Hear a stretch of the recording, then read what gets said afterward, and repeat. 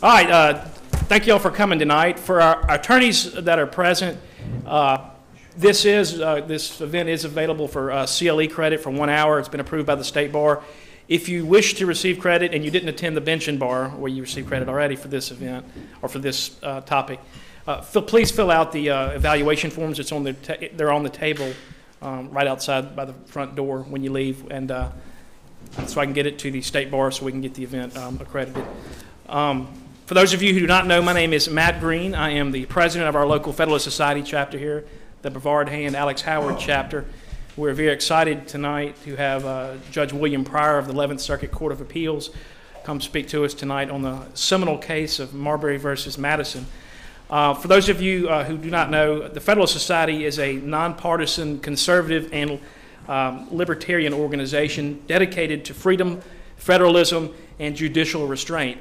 The Federalist Society seeks to educate the legal community and the, the population in general uh, through its programs and publications about how limited constitutional government based on the rule of law uh, can have a positive effect on law and public policy. Uh, For those of you uh, who are on my email list, I've actually sent you a um, copy of the uh, presentation tonight. The, uh, that was actually, it's a publication that Judge Pryor did that was published by the uh, Engage, which is the uh, official Federalist Society um, publication. And for those of you who are not on the list or who have not gotten the email, get with me afterwards, and I'll be more than happy to forward you the, uh, the, his uh, article, which with the presentation will be on tonight. Um, briefly, I'll go over with you, uh, Judge Pryor. It's hard to be brief a career like this. Uh, Judge Pryor is a judge of the U.S. Court of Appeals uh, for the 11th Circuit. Uh, the 11th Circuit includes the states of Georgia, Florida, and Alabama. Uh, he was appointed by President uh, George W. Bush during a Senate recess uh, in 2004. Uh, his appointment was then confirmed by the U.S. Senate in 2005. He served as Attorney General in here in the state of Alabama from 1997 to 2004.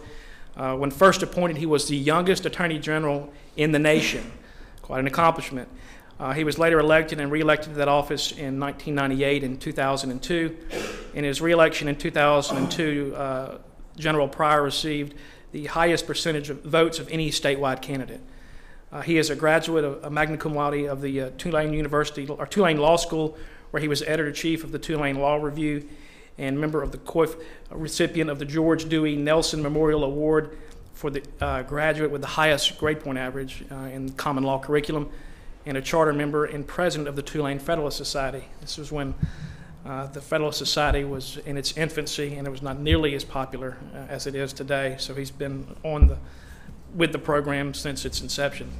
Uh, after graduation, uh, Judge Pryor served as law clerk to Judge uh, Minor Wisdom uh, of the U.S. Court of Appeals for the Fifth Circuit uh, in uh, Louisiana. Uh, was it New Orleans? Was that where it was? Uh, after, following his judicial clerkship, he engaged in private practice litigation up in Birmingham for six years. He also served as adjunct faculty member and taught admiralty at Cumberland School of Law at Samford University. Since 2006, he has served each fall semester as a visiting professor of federal jurisdiction, which this uh, case, is, uh, Marbury versus Madison, plays a prominent role in that curriculum at the University uh, of Alabama School of Law.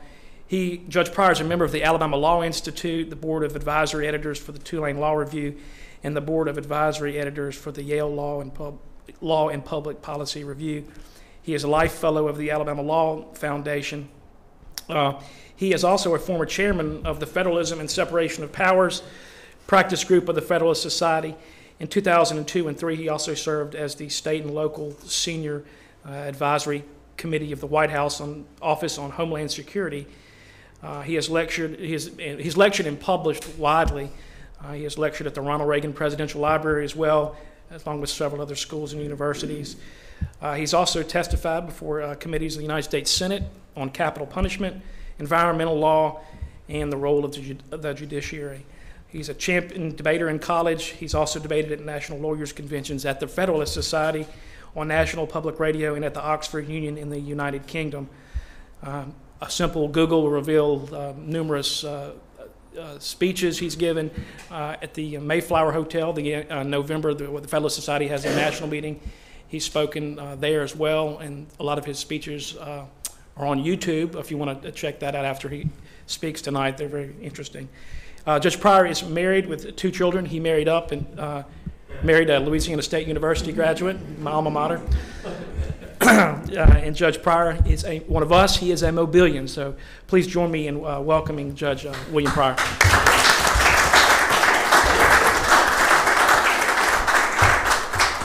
I did marry way above myself. Um, I did marry a Louisiana girl, as my father did before me. Uh, and then um, my older daughter went to the University of Alabama, just got back from Miami with her, Matt. We had a good trip down there. And um, my younger daughter chose to go to LSU, where she wanted to study architecture. And um, all the in-laws in my family said, "Well, what are you going to do with Victoria being at LSU and Caroline being at Alabama?" And I said, um, "That's all right." I said, "Victoria doesn't care about football at all, and they don't play it at LSU."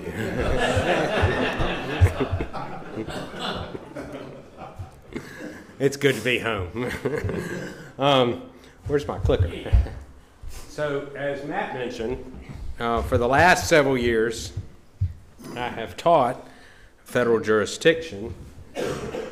This case book um, is the scourge of the existence of my students at the University of Alabama uh, School of Law, where I teach federal courts.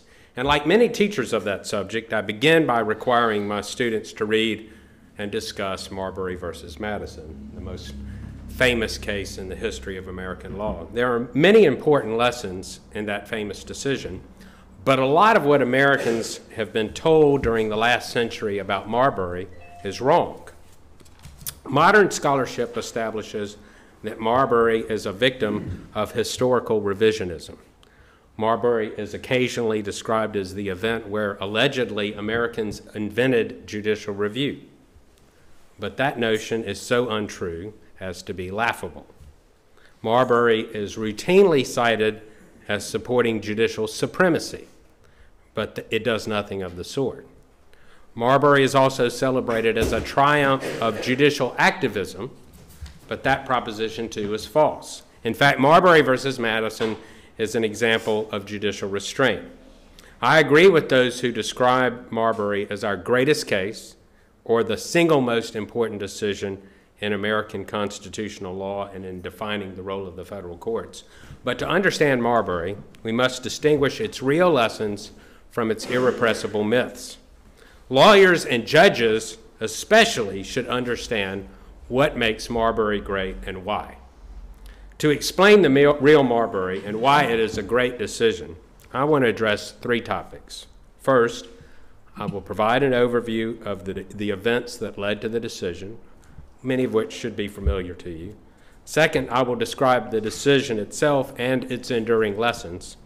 And third, I will address the irrepressible myths about Marbury and how those myths were perpetrated. Now, the story of Marbury begins in 1800 with the election of President Thomas Jefferson and his supporters in Congress and the defeat of President John Adams and the Federalists. And although the defeat of Adams was pretty clear soon after the election. The victory of Thomas Jefferson was settled much later in Congress on the 36th ballot as a result of the tie of votes in the Electoral College between Jefferson and his running mate, Aaron Burr. That's what you get for running with Aaron Burr. that, that mess led to the adoption of the 12th Amendment to the Constitution. Now, while Jefferson and Burr awaited the settling of their election, President Adams received a letter of resignation from Chief Justice Oliver Ellsworth, who was ill in Paris, where he had negotiated a proposed treaty with France. Can you imagine the Chief Justice doing that today? Adams suddenly had the opportunity to nominate a new Chief Justice and have the lame duck Congress confirm the appointment before the Jeffersonians came to power in March 1801. The transition back then was a few months later. On December 18, 1800, Adams nominated John Jay, who had served as the first Chief Justice and was serving then as governor of New York. but Governor Jay declined the appointment.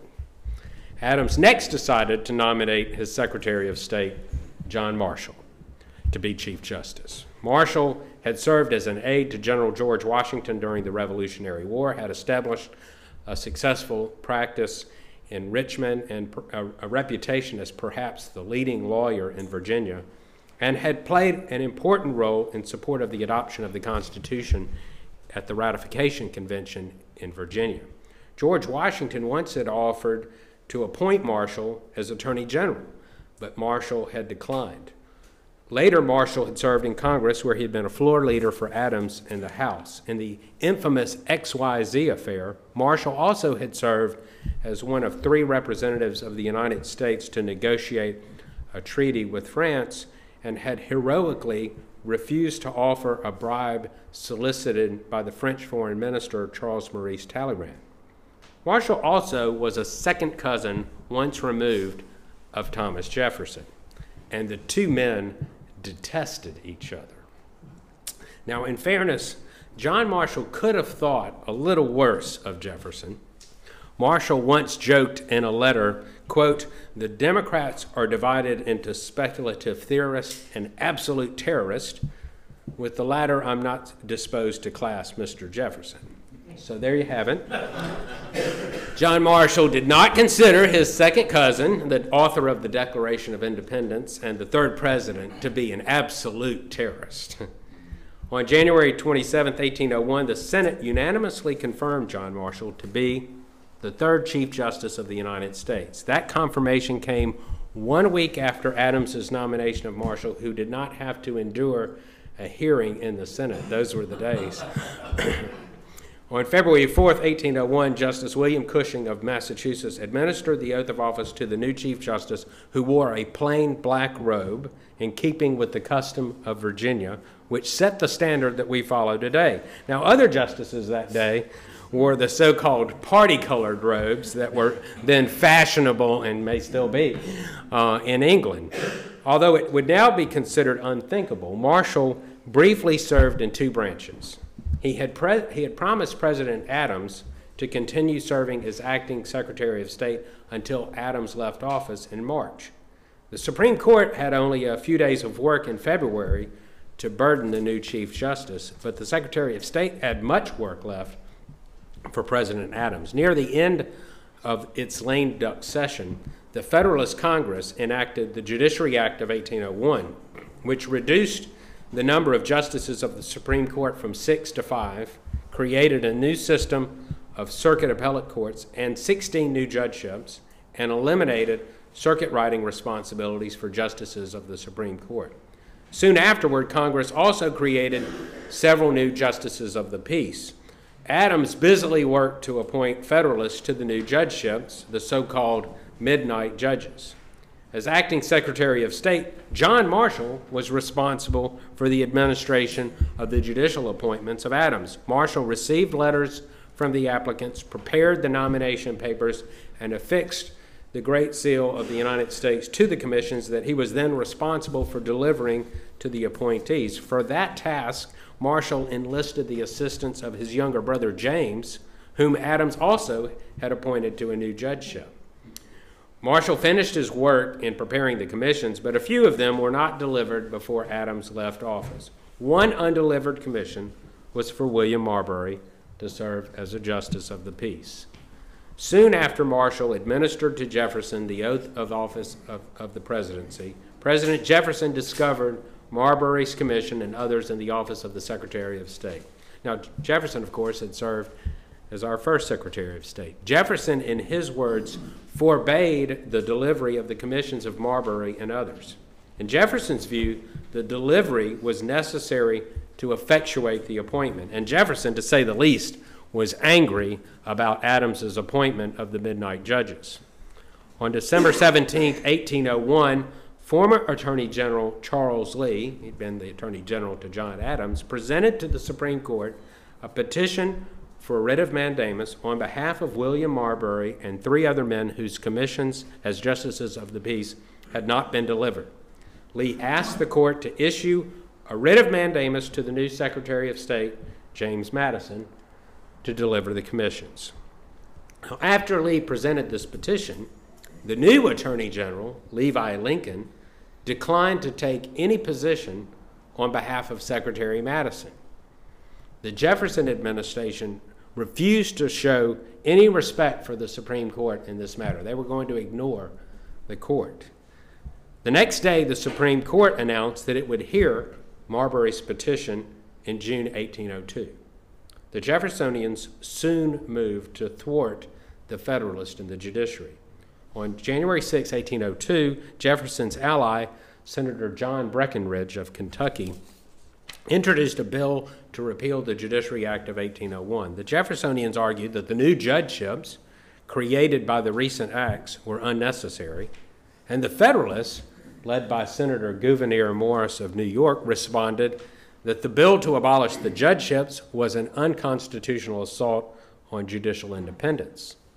In March, Congress enacted the repeal of the Judiciary Act of 1801, and the Jeffersonians then went a step further by passing the Judiciary Act of 1802. Not only did the Jeffersonians return the justices of the Supreme Court to their earlier circuit riding, the Jeffersonians also canceled the June and December terms of the Supreme Court. The Supreme Court would not be able to meet again to hear Marbury's petition until February 1803. Now, these historical events, among others, explain why I am both amused and bewildered when leaders of the bench, like retired Associate Justice Sandra Day O'Connor, and leaders of the, of the bar, like the president of the American Bar, need our water. Excuse me. Like the president of the American Bar and the American Law Institute, suggest that the modern judiciary recently has been under some kind of unprecedented assault. The Marshall Court confronted a far more difficult challenge than anything the federal judiciary has encountered recently. The new laws enacted by Congress created a dilemma for the Supreme Court.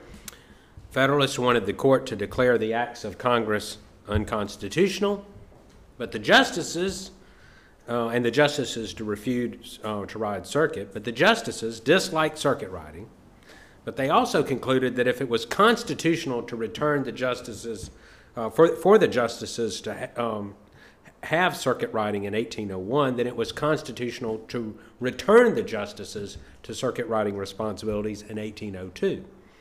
Federalist lawyers later objected to the new composition of the circuit courts, and former Attorney General Charles Lee, in the case of Stuart versus Laird, and um, objected to Chief Justice Marshall sitting on a circuit court as, a, as Chief Justice. Marshall overruled Lee's objection, and the final judgment was appealed to the Supreme Court. When the Supreme Court then finally convened in February 1803, Marbury versus Madison and Stuart versus Laird were both on the docket, and in both cases, former Attorney General Charles Lee represented the plaintiffs. In Marbury, Attorney General Levi Lincoln still refused to present an argument on behalf of the Jefferson administration, so the court was only going to hear from one side in that case. When the court on February 24th announced its judgment in Marbury, Chief Justice Marshall delivered a unanimous opinion. Before Marshall became Chief Justice, the justices typically had delivered separate opinions in each case.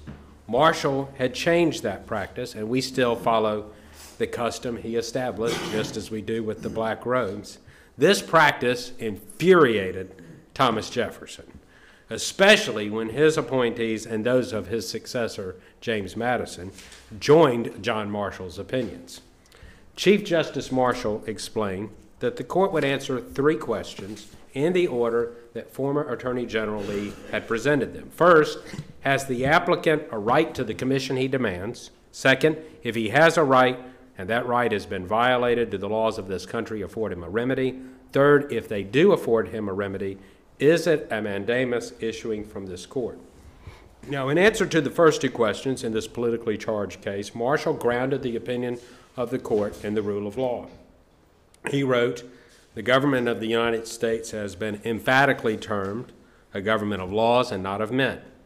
Marshall explained as follows that liberty itself depended on the rule of law. The very essence of civil liberty certainly consists in the right of every individual to claim the protection of the laws whenever he receives an injury. I do not quarrel with the view of many scholars that this first section of Marshall's opinion, grounded in the rule of law, was intended, at least in part, to upbraid President Jefferson, whom Marshall regarded as lawless. But what Marshall wrote was timeless and right as a matter of first principles. Marshall explained that if the subject of the controversy was a discretionary act of the president, or in other words, a political decision, then the court could not interfere.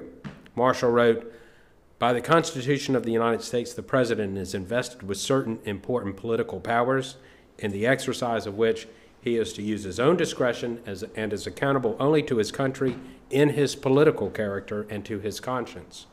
Political decisions, in Marshall's words, respect the nation, not individual rights, and being entrusted to the executive, the decision of the executive is conclusive.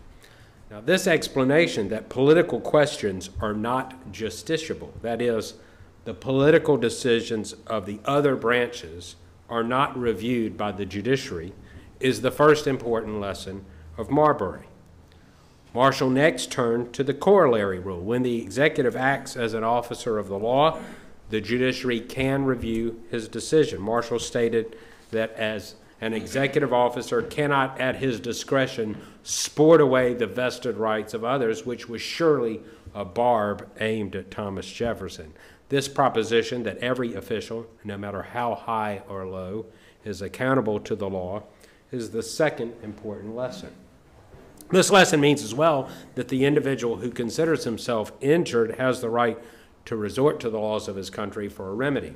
Now, several years ago, Louise Weinberg argued persuasively that this lesson was Marshall's main purpose and achievement in Marbury. There, she wrote, There can be little doubt that Marbury was intended first and foremost to establish judicial control over the government, over executive officials.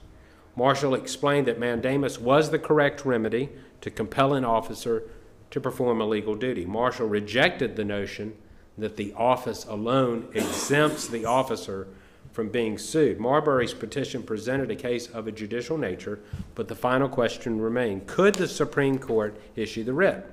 Marshall concluded the opinion with an explanation of the constitutional duty of the judiciary. That duty has two components one is interpretive, the other is jurisdictional. Marbury, I mean, Marshall addressed both. Marshall explained that Article 3 of the Constitution defines and limits the jurisdiction of the Supreme Court. The original jurisdiction of the Supreme Court is defined by the Constitution, and the appellate jurisdiction is regulated by Congress. That description is the third important lesson. Article 3 makes all federal courts, both the Supreme Court and the inferior courts, courts of limited jurisdiction. Some critics of Marbury argue that John Marshall deliberately misinterpreted Article 3 to confine the original jurisdiction of the Supreme Court to a narrow class of cases involving interstate disputes and cases affecting ambassadors, other public ministers, and consuls. They argue that Congress can somehow expand the original jurisdiction of the Supreme Court under the guise of creating an, an exception to the appellate jurisdiction of the court. They have speculated that John Marshall deliberately misinterpreted Article 3 to create an opportunity to exercise the power of judicial review. I have never been persuaded by this argument.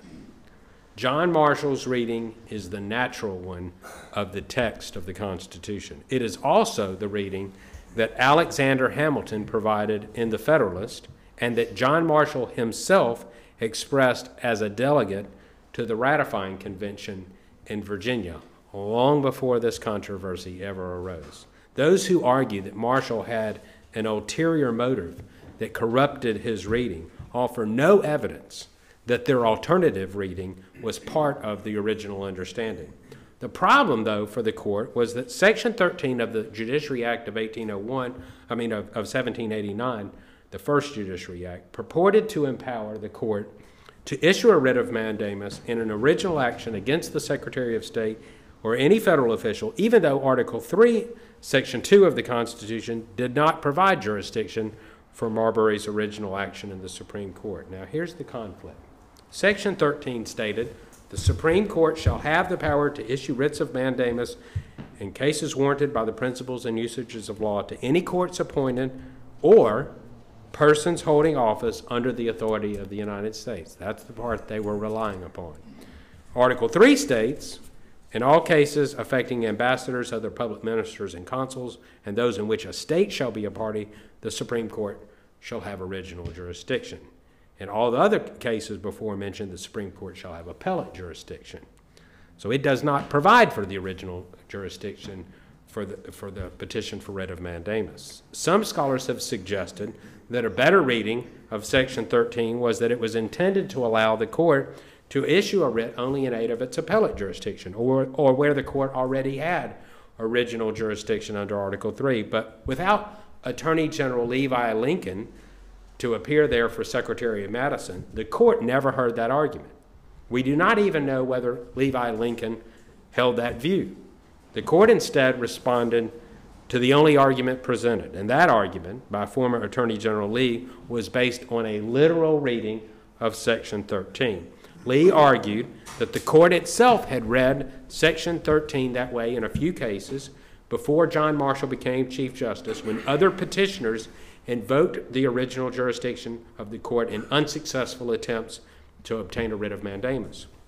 Now, James Pfander argued in 2001 that the decision cited by Lee supported his reading of Section 13 but Louise Weinberg persuasively responded two years later that those earlier precedents, unlike Marbury, involved petitions for writs of mandamus that were actually within the original jurisdiction of the Supreme Court provided by Article 3. But under either view, John Marshall did not misinterpret Section 13. In Marbury, the court explained that the conflict between Article 3, Section 2 of the Constitution and Section 13 of the First Judiciary Act, as Lee read the statute, presented an unavoidable issue. Marshall wrote, It is emphatically the province and duty of the judicial department to say what the law is. Those who apply the rule in particular cases must, of necessity, expound and interpret that rule. If two laws conflict with each other, the court must decide on the operation of each. That portion of Marshall's opinion offers the fourth key lesson of the decision that the judiciary is obliged to interpret the law that governs the case before it, and the Constitution is law. Marshall concluded by explaining why the court has the authority, indeed the duty, to obey the Constitution and dismiss the writ for lack of jurisdiction, even if Section 13 of the First Judiciary Act, as Lee read it, granted the court jurisdiction to issue the writ. Marshall explained the judicial power of the United States is extended to all cases arising under the Constitution. Marshall listed several provisions of the Constitution the prohibition of bills of attainder and ex post facto laws, the requirement of two witnesses in the absence of a confession in a prosecution for treason, as peculiarly addressed to the judiciary. Marshall explained it is apparent that the framers of the Constitution contemplated that instrument as a rule for the government of courts as well as of the legislature. Now, note well that John Marshall invoked the framers' intent in interpreting the Constitution. I'll read back his, his sentence. It is apparent, this is from Marbury, that the framers of the Constitution contemplated that instrument as a, as a rule for the government of courts as well as of the legislature. He concluded by explaining that the judicial oath to support the Constitution meant that the court, like other branches, had to follow the Constitution and, in this instance, not exercise the jurisdiction that former Attorney General Lee had argued had been granted by, the, by Section 13 of the First Judiciary Act. Marshall's conclusion offers the final lesson of the decision that the Constitution is the law for all branches of the government. Now, a week after the court decided Marbury, the court announced its decision in Stuart versus Laird. Chief Justice Marshall did not participate in the decision because he had ruled on the question in the circuit court. But the court upheld the authority of Congress to restructure the inferior courts and return the justices to circuit riding. If any Federalist had hoped that the discussion about judicial review in Marbury foreshadowed a, decision that the Judiciary Act of 1802 violated the Constitution, their hope was dashed in an opinion that contained all of four paragraphs. It is hard to understand how Federalists could have had too high of hopes about Stuart versus Laird. The abolition of judgeships created by Congress was not at issue, as none of the appointees of President Adams were before the court seeking their reinstatement. The only issue was whether Congress could return the justices to circuit riding, and the justices had already made the decision to return to that duty. In any event, the Marshall Court avoided a conflict with the Jeffersonians. Now that we've reviewed the real Marbury and its lessons, let us consider the three myths of Marbury. First, did the court in Marbury invent the practice of judicial review? Second, did the decision in Marbury establish the supremacy of the judiciary as the final arbiter of the meaning of the Constitution? Third, is the decision in Marbury an example of judicial activism? To each of these questions, the answer is no. The first myth is easily refuted. The decision in Marbury was not a magical moment when the Supreme Court suddenly created judicial review. In recent decades, William Michael Treanor and Sylvia Snowiss have published scholarship that establishes that there was an historical practice of judicial review in American courts before the decision in Marbury. Philip Hamburger has published an authoritative book entitled Law and Judicial Duty that explains in great detail how judicial review in early America was the application of the well established duty at English common law to decide cases in accordance with the law of the land and to treat inferior law as void when it conflicts with superior law. Alexander Hamilton explained the duty of judicial review at great length in the Federalist number 78, more than a decade before the Supreme Court decided Marbury. He wrote that whenever a particular statute contravenes the Constitution, it will be the duty of the judicial tribunals to adhere to the latter and disregard the former. Hamilton concluded no legislative act, therefore, contrary to the Constitution can be valid. At the Virginia Ratification Convention, as I mentioned earlier, John Marshall himself defended the authority of the judiciary to declare an act of Congress unconstitutional. In 1792, 11 years before Marbury, five of the six justices of the Supreme Court, including the first Chief Justice, John Jay, riding circuit in Hayburn's case, ruled that an act of Congress the Invalid Pensions Act of 1792, which provided assistance to wounded veterans of the Revolutionary War, violated the Constitution insofar as it required the judiciary to provide advisory opinions to the Secretary of War about which veterans should be paid assistance. That decision was an exercise of judicial review. When the Supreme Court rendered its decision in Marbury, there was little, if any, reaction of displeasure that the court had declared Section 13 of the First Judiciary Act unconstitutional. There was not much controversy about the Marbury decision at all, which had avoided a conflict between the executive and, and the judiciary. President Jefferson complained privately that Marshall should not have expressed an opinion about compelling an executive officer to perform a legal duty. And Jefferson repeated his view that an undelivered commission did not vest a legal right in the appointee. But Jefferson said nothing negative about the exercise of the power of judicial review. As David Engdahl has explained, Jefferson himself highly praised Virginia's judges for having disregarded state legislation found to be at odds with their state constitution, and his assumption that federal courts would perform likewise with respect to the federal constitution was advanced by him as a principal reason for adding a Bill of Rights by amendment. The discussion of the fundamental power of judicial review in Marbury was so unremarkable that the Marshall Court never cited Marbury versus Madison again for that proposition. Think about that. When the Taney Court became the next to declare an act of Congress unconstitutional in the infamous decision Dred Scott versus Sandford, the court did not cite Marbury versus Madison. Robert Lowry Clinton has determined this practice continued during the period from 1865 through 1894. During these years, the court invalidated national laws in no fewer than 20 cases, yet Marbury versus Madison is mentioned in none of them. The second myth that Marbury established the judiciary as the supreme and final authority in determining the meaning of the Constitution is contrary to the language of the decision itself. When Marshall wrote that the particular phraseology of the Constitution of the United States confirms and strengthens the principle supposed to be essential to all written constitution that a law repugnant to the Constitution is void, he tied that statement to the conclusion, quote, that courts as well as other departments are bound by that instrument. Marshall described the Constitution as establishing, quote, a rule for the government of courts as well as of the legislature. Marshall's argument was for the supremacy of the Constitution, not the supremacy of the court. Marshall explained that the Constitution controls all the departments of government. He wrote, The original and supreme rule organizes the government and assigns to different departments their respective powers. It may either stop here or establish certain limits to, not to be transcended by those departments. The government of the United States is of the latter description.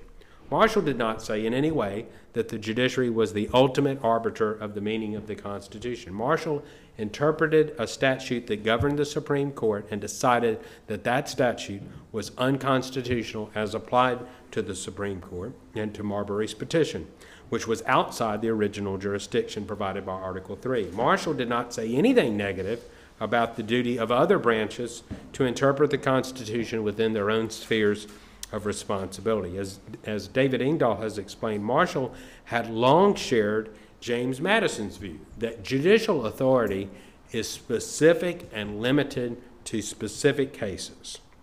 Now, consider this language from the Marbury opinion following this famous quotation. It is emphatically the province and duty of the judicial department to say what the law is. That's the famous quote. But look at the rest of it.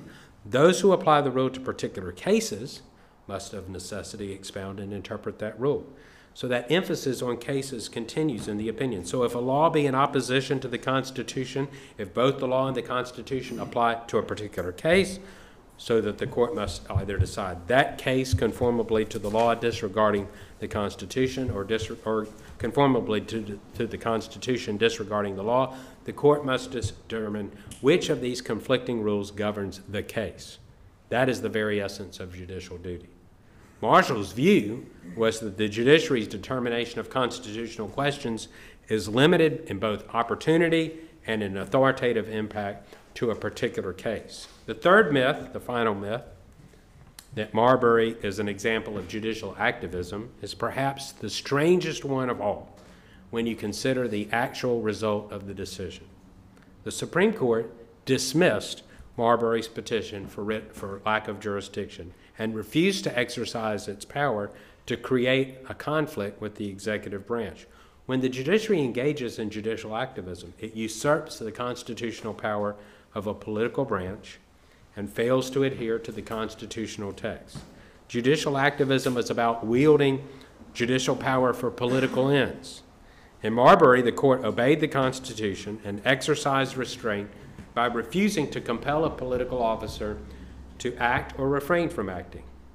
The Marbury Court in no way frustrated popular will. The Marbury Court grounded its decision in the text of Article 3, Section 2 of the Constitution and narrowly construed its own power. The underlying intent of the Marbury opinion was to set forth a principled statement of the judiciary's place in the American constitutional system that disavowed any political role for courts and judges. John Marshall and the other Federalist justices achieved their narrow goals in Marbury and Stuart by distinguishing between the domain of law and the domain of politics. Now, the myth that the Marbury Court engaged in judicial activism is dependent on the premise that the Supreme Court deliberately misread either Section 13 of the Judiciary Act of 1789 or Article 3 or both so that the court could exercise the power of judicial review. But the premise is entirely flawed.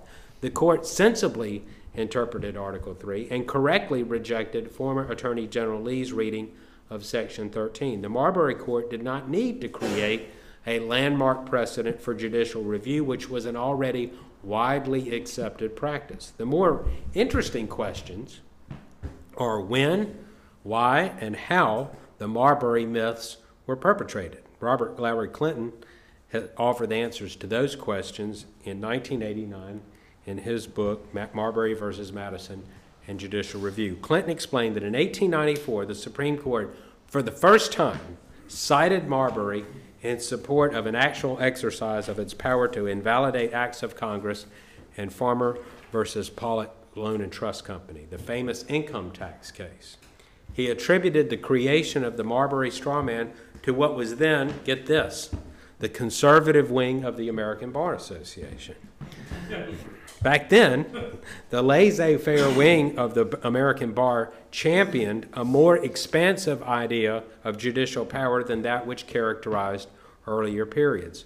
Clinton explained in the early 20th century, conservatives defended court supervision of legislation as essential for the protection of institutional property rights. On the liberal side, before 1937, historians and politicians were, quote, proving that judicial review was a usurpation of, the, of, of power, defeating the original intent. Judicial review was the bane of progressives who supported legislative supremacy and economic regulation, and judicial review was the favored and effective tool of laissez faire conservatives at the turn of the 20th century. Between 1897 and 1937, almost as many state laws were invalidated on 14th Amendment grounds alone as had been struck down in toto during the previous 110 years. Once the rights of blacks had been read out of the 14th Amendment in Plessy versus Ferguson, the court's primary target became statutes regulating various forms of business activity. During that 40 year period, the court struck down some 209 state laws on 14th Amendment grounds. As to federal laws, the court overturned some 55 acts of Congress between 1896 and 1936, nearly tripling the previous number. But then came the New Deal. President Franklin Roosevelt's legislative program not only changed the size and scope of the federal government, the New Deal also reversed political perspectives about the judicial role.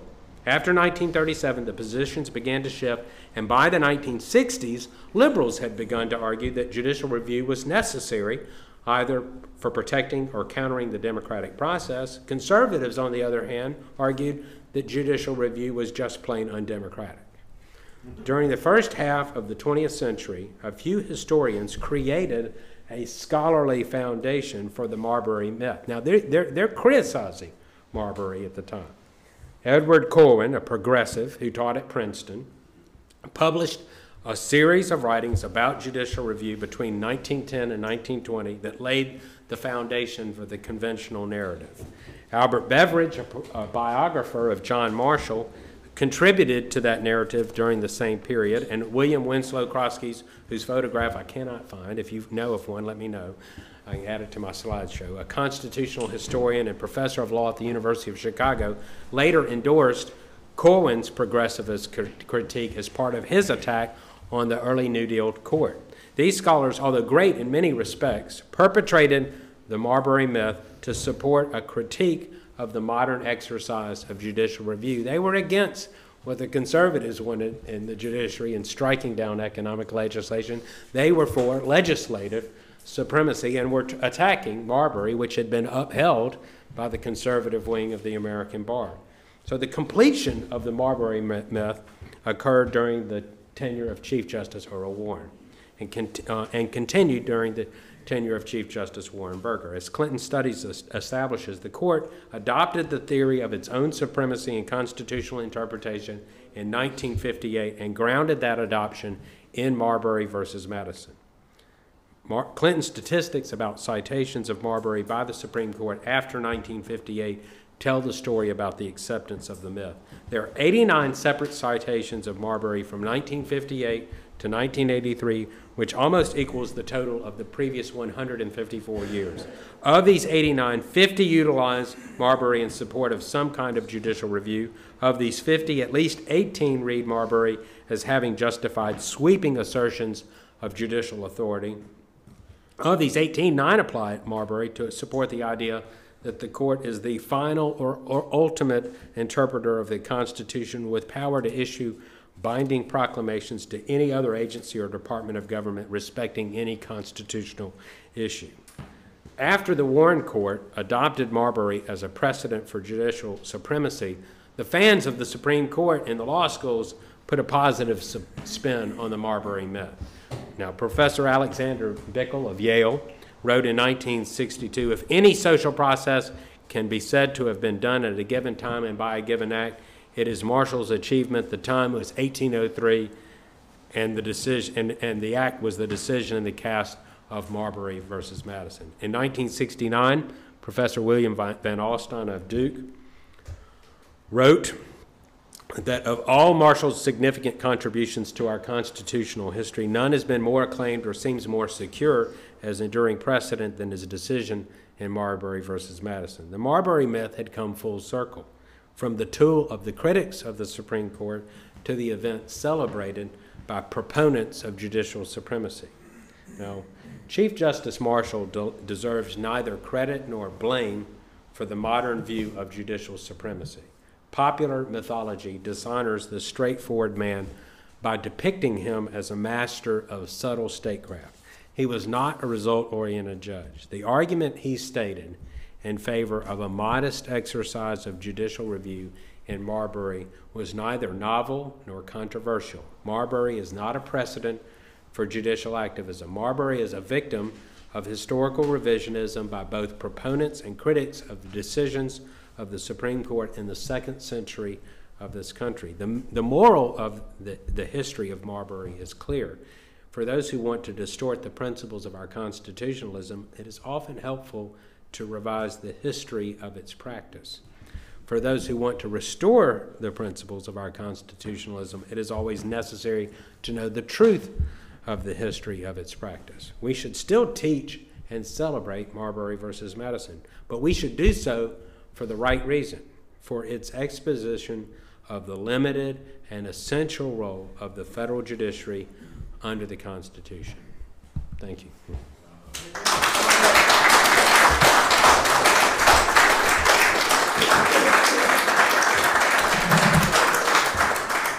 Any questions?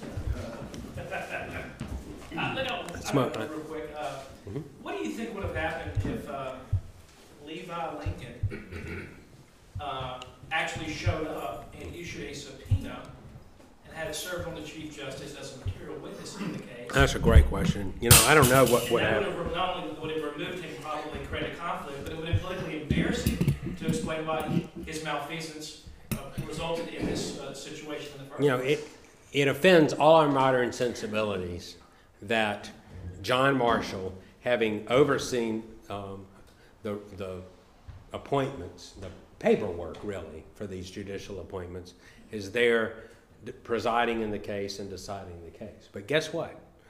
There's no criticism at the time of that. And it's not like it was a secret. It was widely known. Now, I don't know. So let's say Levi Lincoln subpoenas John Marshall, right? What's he going to testify to?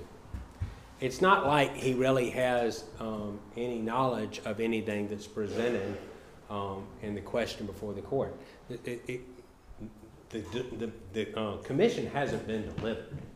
The Jefferson administration hasn't delivered it, and Marshall's not there when they decide not to deliver it. Okay, he he can testify to something that's undisputed, and that is Adams signed the commission and, the, and that the commission was sealed. Um, and then it's essentially undisputed too that the commission um, does not get um, delivered. But it's, it's hard to know how he would have really been much of a material witness. It, it might have, might it have been embarrassing? I don't know. I mean, the, the fact of the matter is, at the time, everybody knows that Marshall had that role, and no one's criticized him for participating in the case. There, there was no, there, there was no record initially, so they had to put on some testimony. That's right. And I read that they actually, the judge, Marshall, had considered and ruled upon an affidavit of his own brother.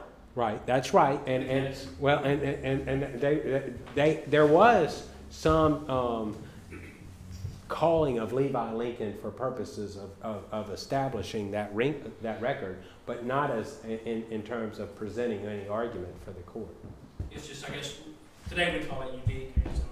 you know? But, I mean, one of the questions that was asked to me, I gave this speech at noon, um, at a law school, and, uh, one of the students asked, what, what would have happened had the court ruled the other way? would Jefferson have obeyed the decision? Most scholars think no, he would not have. Uh, and that would have been a, a big showdown. There are some modern scholars, though, who have, are really starting to question that. They're not so sure that Jefferson would not have um, obeyed. He obeyed in the, the Burr case when they subpoenaed. That, that, that's, that's part of the reason why they made that argument. um, Uh, What I have, though, argued is that regardless of that, I do think Marbury had a role in protecting the court. The court is under siege at this moment in our history. It's 18, oh- I mean, 1801, 2, 3, they've canceled terms of the court. They've repealed these acts. The, I mean, the act that created the new uh, appellate judgeships was a really widely accepted view of court reforms that were needed at the time and that eventually do take place decades later. Ending circuit riding responsibility was something that most uh, lawyers at the time thought was probably uh, a good idea. But there was always a debate about, well, if we end circuit riding responsibilities for justices of the Supreme Court and they don't have to go out and charge grand juries and, and see the people and, and engage in trials, then they'll just be trapped in an ivory tower in the capital city. Now, I don't know where anyone could have gotten that idea about the Supreme Court, but that was the argument in the, um, in the 19th century. Um, but, but, you know, this wasn't a lot, that bill wasn't so much a partisan bill, except for it gave Madison, I mean Adams, the opportunity to appoint all those new uh, judges. Judges, but but the content of the of the new law itself had been kind of widely accepted as um, as needed reforms. Um, so, but I think that at the end of the day, by ref- not creating a conflict with the Jeffersonians, uh, the court really survived this period of our history. Uh, you can never know what would have happened had the case gone the other way, but we do know this. Uh, one of the things that also happens in this period is that the Jeffersonians impeach a Federalist judge. John Pickering, who was a drunk and a real scoundrel uh, and deserved to be impeached, was impeached. Uh, but then articles of impeachment were brought against Justice Samuel Chase. And now Justice Chase, in charging grand juries back when they were doing their circuit riding, he was a partisan Federalist, and he would give his opinions as a Federalist on the topics of the day to these grand jurors. And, uh, and that was controversial with the Jeffersonians. Uh, and, and that was the subject of the bill of impeachment brought against him. House impeached him. Of course, the Senate refused to convict him narrowly, and, uh, and he survived the day. The question I've, I've posed is would he have survived that impeachment trial had Marbury come out the other way? I'm not as sure of that. Uh, but, but, but he did survive, and as a result, federal judges since then have, have been thought that it's best to stay out of partisanship and politics. And the, and, and the other branches have also seen that it's, it's not really appropriate to impeach federal judges for their judicial decision. So that's the truce as a result of the, um, of the Chase impeachment trial. Now, I think you had a question. Uh, Those who say that, uh, that Marshall got very political, Mhm. this, that it was all a very clever political ruse, Right. uh, say that in part because he seemed in some ways to consider the questions in the wrong order Right. that uh, the very first question that uh, the court needs to determine is the question of, or the dual questions of jurisdiction and standing. Right. And that instead of ruling first that the court did not have the proper jurisdiction Right. and therefore not getting to the other matters, Right. he got to the more political questions first and then saved that till That's right. And that was really kind of Jefferson's view, too. Um, So. I say it's entirely wrong, uh, and it's wrong for, for a couple of reasons. The first, kind of more practical, historical reason is the custom of the day was the court would answer questions in the order that counsel had presented them. And this was precisely the order in which attorney, former Attorney General Charles Lee had presented his case. And so they're responding to the argument as he made. that, that was typical of the period. But there's another thing, and I think this is the most important part. Marbury versus Madison is a jurisdictional opinion from beginning to end. The first question that Marshall addresses is, is what we're being asked to review here, the refusal to deliver the commissions, is that a political decision or is that a legal decision? If it's a political decision, we can't review it. Now, that is regarded today as the foundation for something we call the political question doctrine. It's one of the first things I teach in federal jurisdiction. That's a jurisdictional question. He's saying if it's political, we have no jurisdiction. So he is starting off with jurisdiction. Then he next turns to the question well, is this is an action for mandamus? What is he answering there? He's looking at the statute, Section 13 of the Judiciary Act, that Attorney General Lee is arguing provides the court jurisdiction, and he's trying to make sure that this action comes within the terms of the statute. So he's interpreting what is being argued as a jurisdictional statute and making sure it comes within the terms. That is a jurisdictional question. He, he, one of the questions he asks along the way is, one he answers really, is he says, the office alone does not exempt the officer from being sued. Remember, I read that quote from the opinion, early in the, in the opinion. What's that?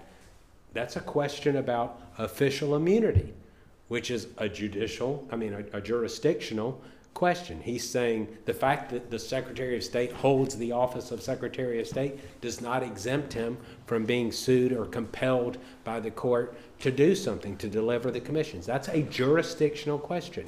What he saves for last is not the jurisdictional question. What he saves for last is the constitutional question.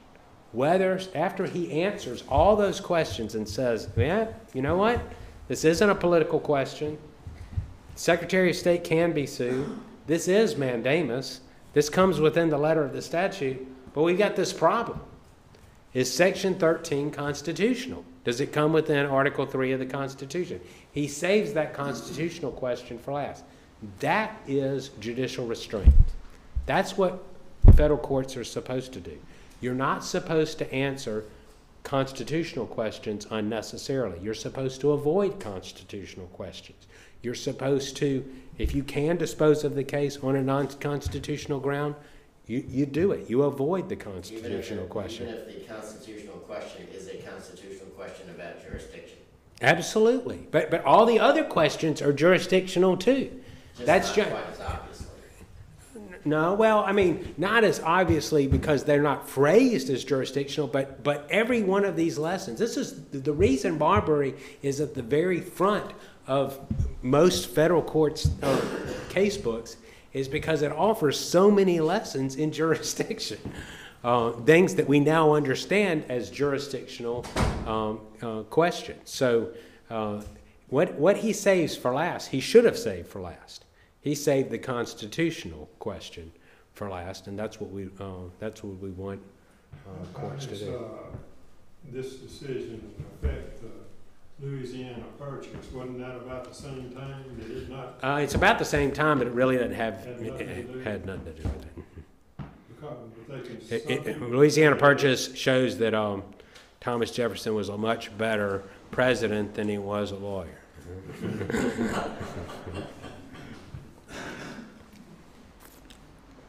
All right, I know I've bored you long enough now, so. Yeah, it's a great question.